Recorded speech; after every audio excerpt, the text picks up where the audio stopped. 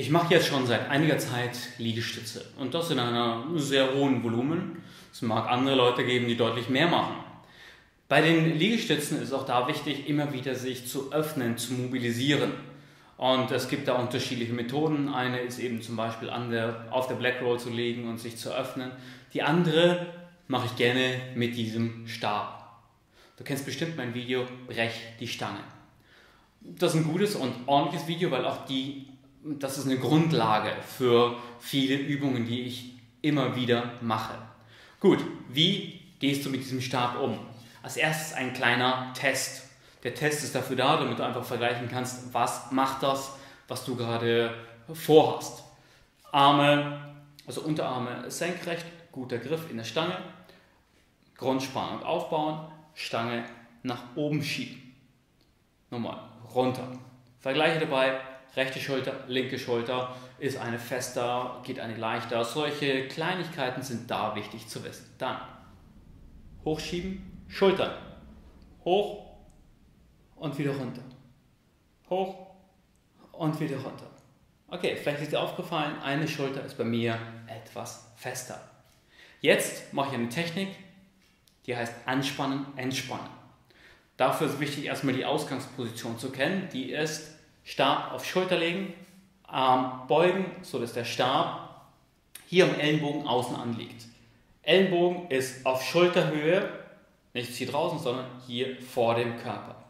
Und das Ganze mache ich eben in der Anspann-Entspann-Rhythmus. Der ist 7 Sekunden Anspannen, 10 Sekunden Entspannen, das Ganze 7 Mal. Dafür habe ich einen kleinen Timer vorbereitet, den ich jetzt starte. Und ich positioniere mich gut. Was ich jetzt mache, ich ziehe oben dagegen. Und unten halte ich. Okay, 5 Sekunden noch. Oben ziehe ich dagegen, unten halte ich. Und anspannen, anspannen, anspannen, anspannen, anspannen. Halten, halten, halten. Und locker. Beim Lockerlassen versuche ich dann hier unten so ganz bisschen zu ziehen und spüre, wie weit geht das. Das ist okay, es darf kein Schmerz sein. Unangenehm vielleicht, aber schmerzfrei. Und wieder anspannen. Anspannen. Anspannen und halten und spüren. Genau. Und locker lassen. Noch hier wieder. Vielleicht geht es ein bisschen weiter. Noch ein bisschen. Okay, reicht. Und wieder anspannen. Unten hält, oben spannt.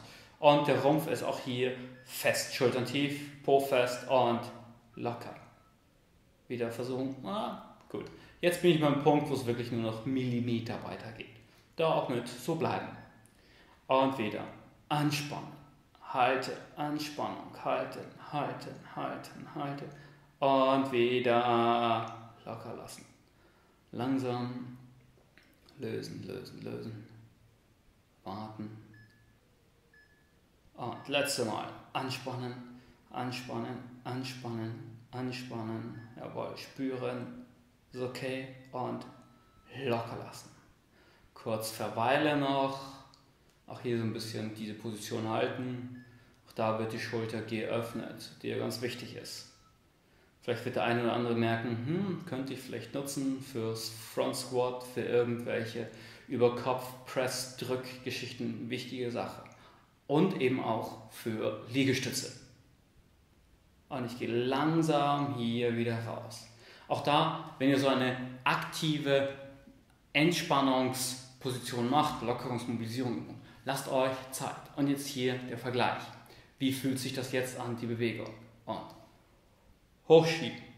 Aha. Und hoch und runter. Hoch und runter. Und wieder runter. Okay, dir ist aufgefallen, was daran passiert ist? Wunderbar. Also ich habe das gemerkt, meine rechte Schulter ist jetzt deutlich leichter, als das davor war.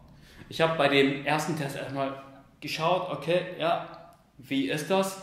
Welche Schulter ist fester? Eindeutig war das meine rechte, deswegen habe ich damit angefangen. Genau das gleiche jetzt auch für die andere Seite. Lass dir dabei deine Zeit. Es kann sein, dass du einfach bei dieser Übung erstmal nur so weit kommst und dass das alles ist, weil deine Schulter einfach fest ist. Okay, ja, lass die Zeit und du wirst merken über die Tage und über die Ausführung der Übung wirst du immer tiefer und tiefer kommen. Und das Entscheidende ist, immer wieder dran zu bleiben, dran zu arbeiten. Also, probier es aus, bleib in Bewegung und sei aktiv. Dein Coach Andy.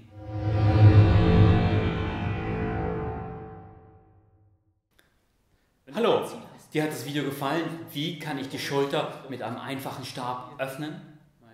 Abonniere diesen Kanal und gib mir auf Facebook, dein mag ich, und du wirst in Zukunft mehrere dieser kleinen Videos finden. Bis dahin, ciao, aloha, dein Coach Andy.